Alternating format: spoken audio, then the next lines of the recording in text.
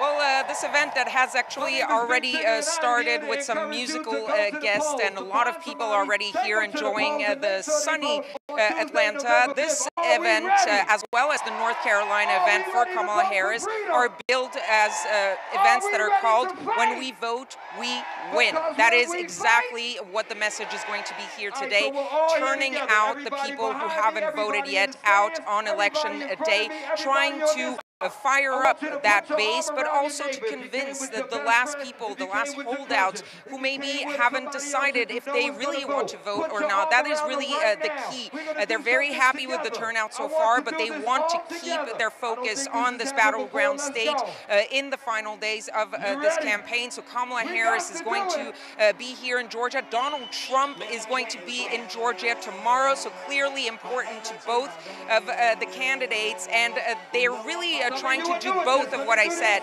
trying to uh, fire up their base, but also uh, trying to convince those hesitant uh, voters uh, to try to come out on uh, election uh, day. And the focus for Kamala Harris is going to be to motivate some of the younger voters, some of the minority voters here in Atlanta.